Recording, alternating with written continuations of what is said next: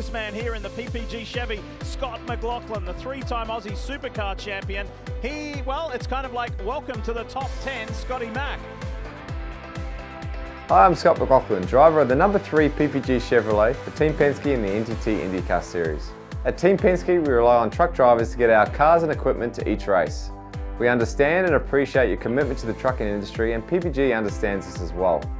Whether it's race cars, paint supplies or whatever you are hauling, you go the distance and you make it happen. Your contribution to this industry delivers products and supplies to their customers, so in recognition of Trucker Appreciation Week, PPG would like to say thank you for always going the distance. I'm Tom Maziars, Vice President for Automotive Refinish for the Americas. Getting products and supplies to our customers is critical for us to continue to grow our, our business and service our customers. And we thank you for going the distance to make that happen.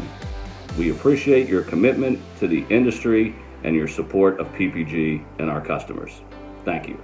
From all of us at PPG, thank you for all you do. From all of us on the West Coast, we appreciate everything you do. Thank you.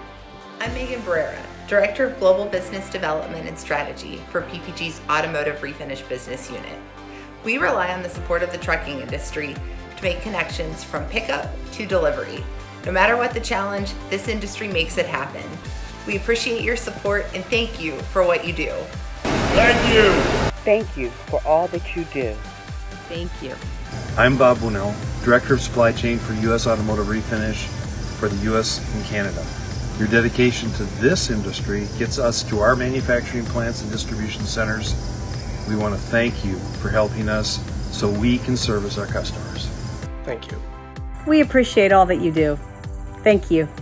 Thank you. So thank you, keep on trucking and stay safe.